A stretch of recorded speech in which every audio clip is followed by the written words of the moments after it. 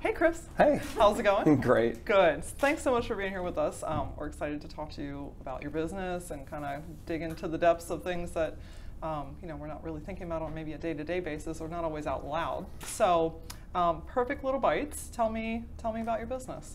Uh, I'm a chef, so at its core, it's an in-home uh, kind of fine dining restaurant that I bring to you. Uh, I think it's for me, the challenge was always going out to eat. Um, it's kind of becomes a hassle, especially as you get older. Now I have kids, so it's like getting a babysitter and then driving somewhere and dealing with parking and waiting, and then you know, I don't. I, I want to be able to bring an experience to you because I think there's so many fun reasons. One, I can customize to what you like. So if you want like a five course vegan Thai, I can do that. If you want like a three course French, I can do that. You know.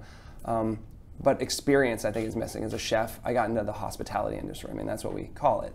But you're removed from that because you're in the kitchen and it's filtered through servers and everything. And I really wanted to get back into kind of dealing with my customer one on one because I like that interaction.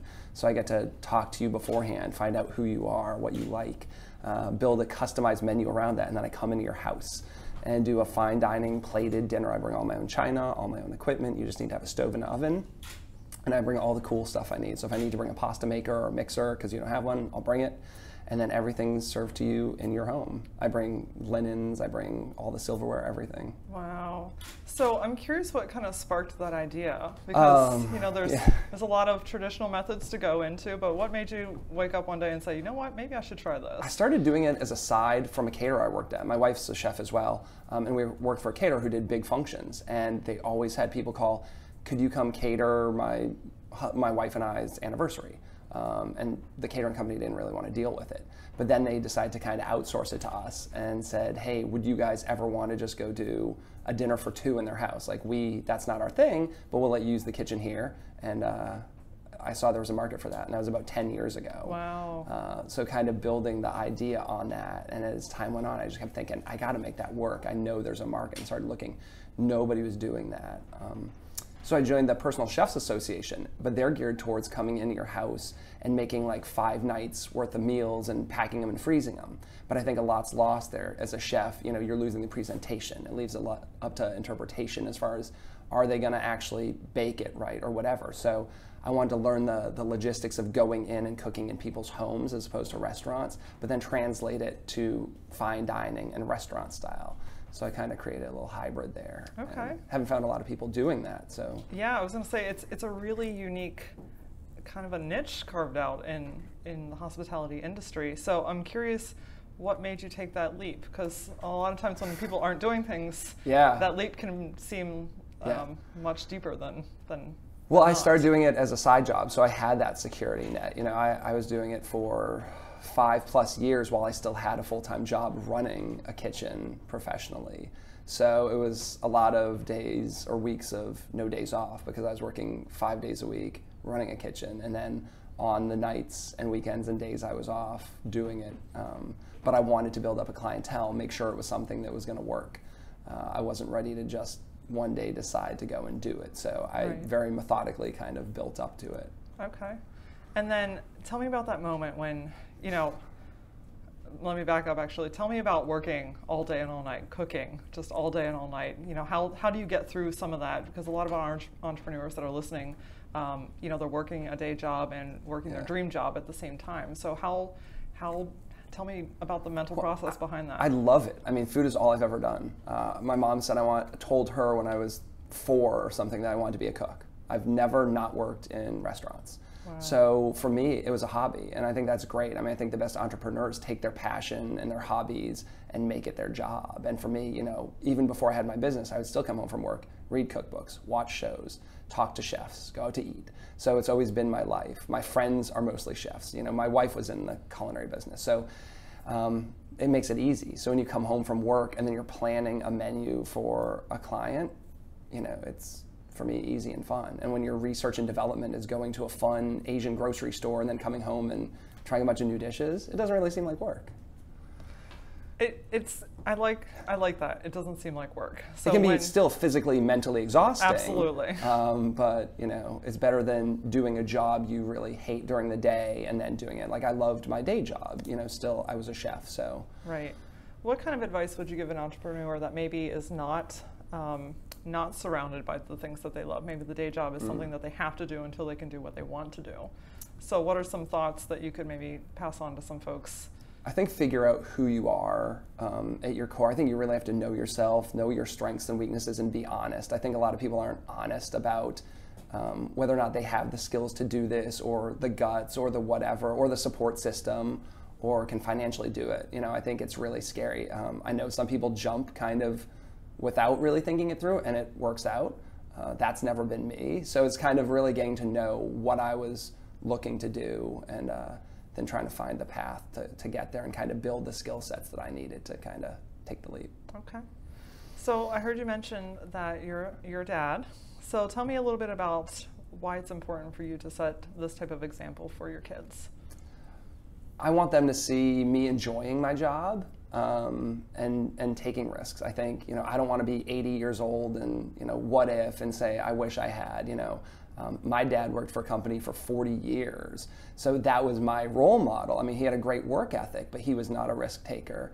And it, and then I saw him really hate his job for the last 15 years, but felt like he was trapped. You know, and just like I'm going to coast till retirement. And he ultimately walked out of his job on his last day. It was so frustrating, and that's nothing I you know, ever would have expected him to do. And um, you know, I turned 40 this summer, and I'm kind of like halfway or so between my career, and just feel like it's the time. I've been doing this for 20 plus years, and I've got another 20 plus years to go, and uh, just I wanted to get in and do it and show my kids you can enjoy life, do something you love, make a career at it, and That's awesome. I love it. You also mentioned that your wife, um, from time to time, steps in with the business and helps you. So, how's that dynamic with bringing in husband, wife, and and um, business partners, so to speak? It's it's good. We have to find the the boundaries of work because it's tough. You know, I came from running a big kitchen where I had 120 employees and I was the boss and it was kind of I was the final say. Right. You know, um, and my wife um, was a chef. She's now a dietitian, so she brings a lot of nutrition support. We have a lot of customers who actually want kind of healthy eating, so consults. But when she's my sous chef, you know. Um, I probably talk to her a little differently than I would my traditional sous chef in a restaurant, but it's great because she's honest with me, and I think the way that other people in restaurants hadn't been. You know, she gives me that kind of gut check and says, "Is this really how that's going to be?" or um, keeps me in line a little bit sometimes. we all need a little bit of that, right? um, you know, you're cooking uh, these beautiful dinners for people, um, mostly in the evenings. How do you balance being away from your family during the times that they're at home having a meal when you're out preparing a meal for someone else? Well, you actually spend less time doing it because, in general, I'm doing one customer a day. So if I were in um, the restaurant, the big place I was at before, it was more like an 11, 12, 13 hour day. Uh, you know, I'd get up, most recently, my last job, I was leaving my house at 8.15 in the morning and getting home about 7.15, 8.15 at night. Um, with this, if I'm coming to your house for dinner and it's just one client, you know, dinner party of two or four, I might not even leave my house until four in the afternoon. So at least I'm home a lot longer, and I just miss you know a couple hours at night before my kids go to bed, and uh, I still am usually home and have a couple hours with my wife too. That's wonderful. What a great balance. What challenges have you faced, and, and how have you overcome some of those things? I think the challenge is um, getting out there and just telling people what I do and networking.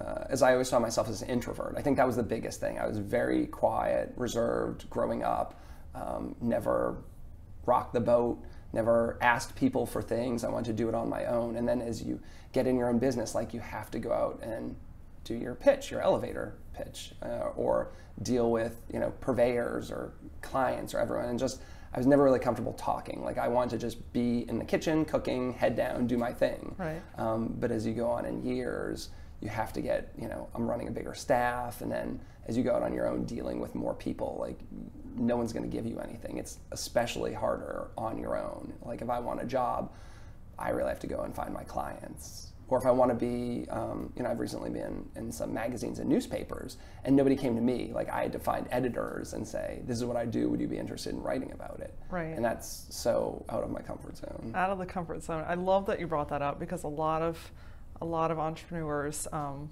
want to stay behind the work that they do. But when you become the entrepreneur, you become the, the many hat wearers. So tell me a little bit about what kind of spearheaded you to get out of that comfort zone and, and how how you you know recognize that this is something that you really need to be in the forefront. I think you take the first couple leaps and they pay off, and hopefully they will pay off. Then you get a little more comfortable. It's always the first couple times that you need to do something that you've never done, um, and then you say, "Wow, that wasn't so bad." You know, I think for years it was always like playing it safe and, like I said, not rock the boat or not ask for things. And then once you do, you're like, "Oh, that that was really easy." I just said to that person, "Can you do this or help me with that?" And they said yes. And I don't know why for so many years in your head you've built up that like people are going to say no or they're going to make fun of you because they think your idea is dumb or something. What's the worst that's going to happen? But it took me a long time to get to that place where I felt comfortable that I could go out and ask and do it. That's awesome. I, I love that you've had these incredible like um, full circle moments. You know, you've taken these risks and you're seeing the return coming around.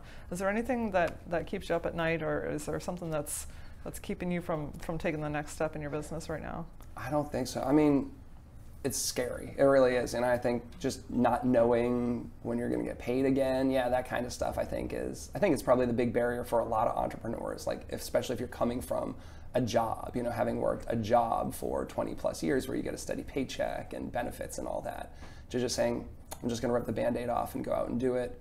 And I've got customers lined up, you know, four or five in the next couple weeks, but I don't know, how's it going to be in January? How's it going to be if the economy tanks? Like, so looking at diversifying what I do, what else can I be doing, and kind of staying ahead of the curve and be um, proactive instead of reactionary.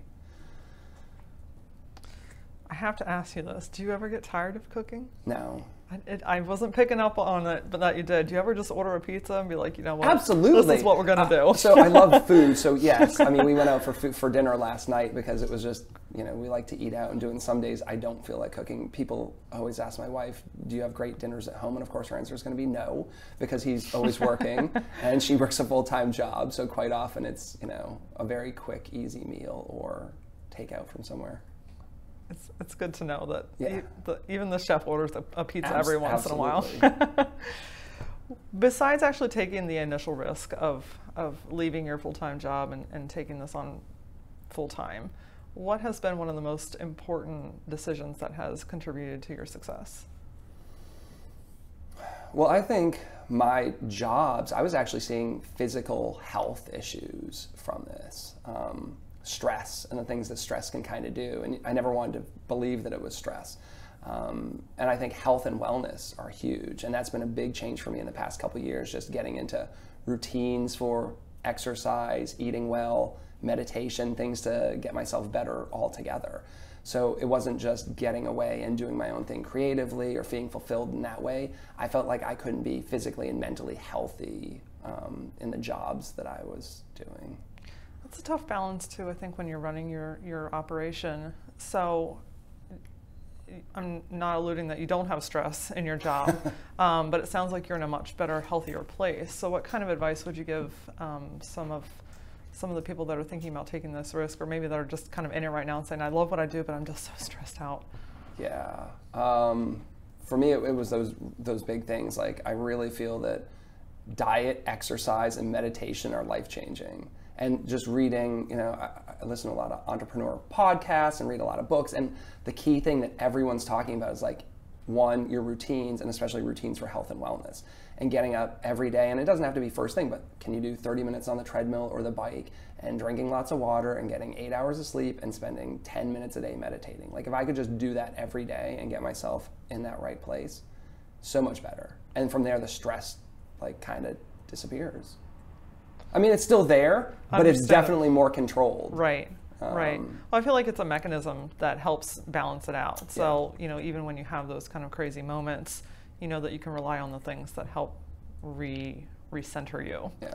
I mean, the stress helps push. You know, Right. I, I don't want to get complacent and think everything's all well and good. You need that like behind you, but when the stress overtakes things and anxiety kicks in, uh, that's where it's problematic. Yes. So, if a younger version of yourself came and hung out with us on the couch today, what advice or what would you change? What would you tell him? Take more risks when you're younger because it's easier. You know, I uh, got out of college and jumped into a safe job. You know, now it's much harder that I have a wife and kids and a house and we're kind of here. When you're young and you can go anywhere in the world and do anything and you go take a job and you don't like it, you can take another job, you know, your bills haven't added up. It's a lot easier. Um, but like I said, coming from a family where you're told you go to college, you get your degree, and get your job, and just kind of run that way, I locked myself in pretty early um, into these kind of stable jobs, and I should have been riskier. But I know that wasn't in my DNA at the time. it's definitely something that you have have grown with, which is huge because I think it's it's inspiring to know that just because you're one way doesn't mean that you can't take a risk. Um, now, later, you know, years down the road.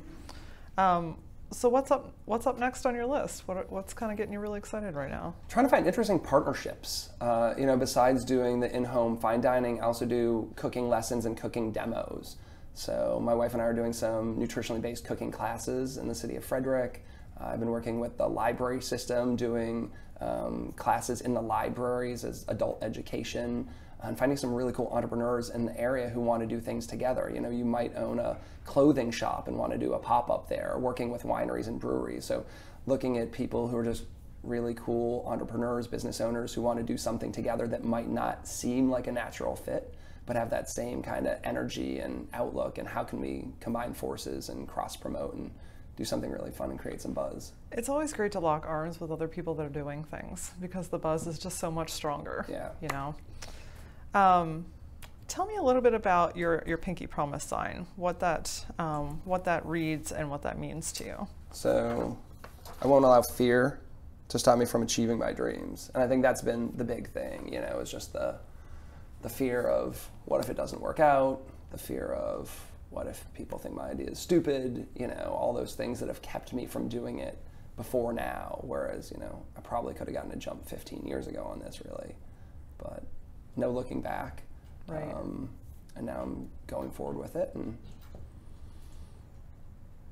I think you're just rocking and rolling. I mean, I just love what you're doing. I love that you you went against the grain. Um, you know, you went against um, what would have been you know typical personality traits, and you went just across the whole industry. And you're just like, you know what? If everybody's going left, I'm going to go right. And you know, you're a perfect example of doing that, taking the risk of doing mm. that, can can have huge rewards: happiness, health, yeah. family. You know, doing something that you love every day. And still, for me, figuring out how to minimize the risk because I'm not a super huge risk taker. You know, opening a restaurant where you need a million dollars and you have a lease and all this equipment. My business model is my equipment is pots and pans and plates, and I come to your house. And if it doesn't work out, I can always go back to cooking somewhere. You know, I don't have this crazy amount of money in capital investments. So that was how I kind of minimized the risk. So I started looking because I knew I always kind of played it safe. How can I have this really cool thing that I want to do, but still have that little safety net there? Because um, that's what I needed. But I also needed to jump in and do it full steam ahead because I knew if I kept working my job, I'd have that too much of a safety net. I would never really take the leap that would get me where I wanted to go. Right. What advice would you give um, an entrepreneur an entrepreneur right now, maybe somebody that's thinking about taking that leap that you took, um, but it's just kind of teetering on the fence with it? Uh, find like-minded people uh, and people who will challenge you. I think networking has been huge. You know, the the internet and social media is great because you can find you can connect with your mentors, you can connect with your peers, you can see what people are doing, you can really get um, you know, I found accountability partners online, and mine was a guy who lived in California. And you just, you know, every couple days check in with each other and see what you're doing, um, and being able to do that. And I would say just talk to everyone and put your idea out there. Um, you know, keep working on it in your spare time. Any little bit of, you know, don't sit down and watch three hours of TV every night. If you're really going to get it done, it takes a lot of work. And you know, don't sacrifice the big things like time with your family or going on vacation, but those silly little things maybe. That's amazing advice. Absolutely amazing. So I want to come full circle, and we talked about you coming coming into the home and, and bringing your equipment and preparing a meal. Tell me, tell me how that finishes out. So if you've come to my home and you've prepared this incredible meal for my husband and I, um, what's how does that end then? What is what is the completion of, of your time with with my family? We're there. I'm there. I'm right now. I am Perfect Little Bites. I'm at every event. I'm not. I don't outsource to anyone. So I'm there, and I want to have that experience. So I'm going to come into your home after we've talked about kind of what I'm going to do, and I'll still bring some surprises. And I'm going to make dinner for you and serve it like we're at a restaurant. I'm also the front of the house guy, so I'm cooking, plating, bringing it out, and you're sitting there enjoying dinner. Sometimes they want me to sit down with them and eat, pour a glass of wine. That's great, you know, because it's a service thing, and it's really cool because I've done this for a long time in food. We used to be the help. I worked in catering. You go to someone's house, and you were the guy in the kitchen that the hostess didn't want anyone to see. And now it's like, oh, you've got a personal chef, and they are super excited about that. And that's only been a shift in the past five years. Um, so now getting to hang out with my customers sometimes, you know, you, you feel the vibe. Sometimes they just want a romantic anniversary dinner, and I do stay more in the back. But quite often they want me to come out, talk about the dishes, the inspiration, you know, what I did, and get my background. And that's really fun. And then when we're done, you know, I take all the dishes with me clean your kitchen, leave, you have nothing left to do. You can be in your PJs in five minutes after I'm out the door. I think that's not a bad gig. that's awesome. Chris, how can our listeners get in touch with you? Because I'm certain there's at least a half a million people that want to know so how you come to our home. I'm Perfect Little Bites. My website is perfectlittlebites.com. You can find me at Facebook slash Perfect Little Bites. Google it, put it in. I'm Perfect Little Bites on Instagram, Twitter, Snapchat, everything. You'll find me. Okay. That's awesome. Chris, I want to thank you for being so open with us today. I think that your confidence and your creativity is really going to be an inspiration for a lot of people that just need just need that one little push. So thanks, thanks for having me. Yeah, absolutely. This has been fun. Thanks.